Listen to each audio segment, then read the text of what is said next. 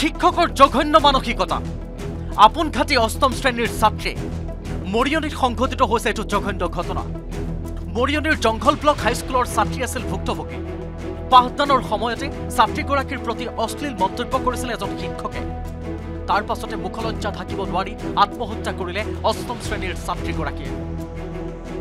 Class চলি থকা অৱস্থাত আমাৰ ক্লাছৰ শিক্ষকে তাক অশ্লীল এটা মন্তব্য ৰখাৰ বাবে তেওঁক হয়তো মনত আঘাত পাইছিলে। মই কিছুদিনৰ পিছত এই কথাষাৰ গম পাই মই হেড ছাৰক অৱগত কৰিছিলোঁ।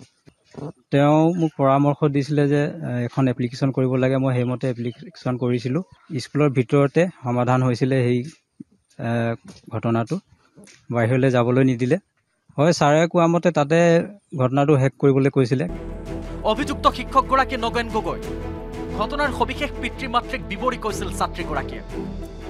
তাৰ পাছতে প্ৰধান শিক্ষক ধৰ্মেশ্বৰ বৰুৱাক অভিযোগ দিছিল পিতৃয়ে। কিন্তু কঠোৰ ব্যৱস্থা আৰু আইনৰ সহায় নোলোৱাকৈ বিষয়টো আলোচনাৰ মাধ্যমেৰে সমাধান কৰিছিল প্ৰধান শিক্ষকে। সেই ছোৱালীজনীক মই মই বাৰে বাৰে সুধিছিলোঁ কিন্তু তেওঁ উত্তৰ নিদিলে গতিকে মই উত্তৰবিলাক এতিয়া বিচাৰটো কৰিবলৈ অসমত যথেষ্ট অসুবিধা পাইছিলোঁ।